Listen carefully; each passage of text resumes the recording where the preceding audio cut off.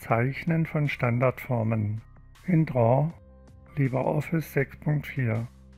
Alle Formen wie Linien, Rechtecke usw. werden auch als Objekte bezeichnet. Öffnen Sie Draw. Die Zeichenwerkzeuge finden Sie auf der Symbolleiste Zeichnung. Gerade Linie zeichnen. Zeichnen Sie eine gerade Linie. Dazu klicken Sie in der Symbolleiste Zeichnung auf das Symbol Linie einfügen. Nun positionieren Sie den Cursor an die Stelle auf der Folie, an der die Linie gestartet werden soll. Klicken, halten und ziehen Sie den Cursor und zeichnen damit eine Linie in einem beliebigen Winkel. Lassen Sie die Maustaste an der Stelle los, an der die Linie beendet werden soll. Wenn Sie die Alt-Taste gedrückt halten, während Sie eine Linie zeichnen, erstreckt sich die Linie beim Ziehen symmetrisch in beide Richtungen vom Startpunkt aus. Zeichnen Sie einen Pfeil.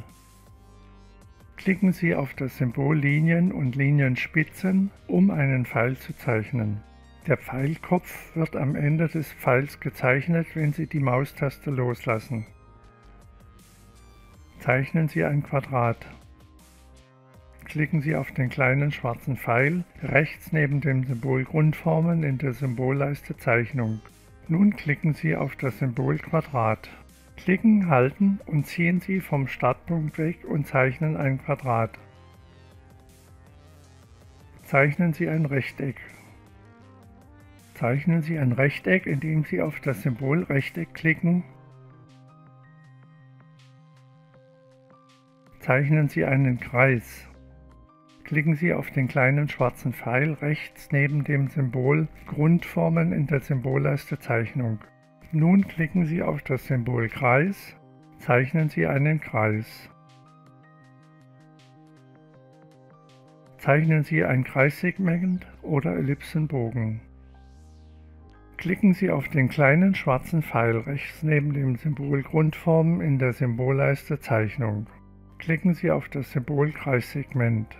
Bewegen Sie den Cursor an die Stelle, an der der Bogen oder das Segment gestartet werden soll. Klicken, halten und ziehen Sie den Cursor, um einen Führungskreis aufzuziehen. Lassen Sie die Maustaste los. Führen Sie den Cursor zum Beginn des Segments. Klicken, halten Sie erneut und ziehen das Segment auf. Nochmaliges Klicken beendet das Zeichnen des Segments.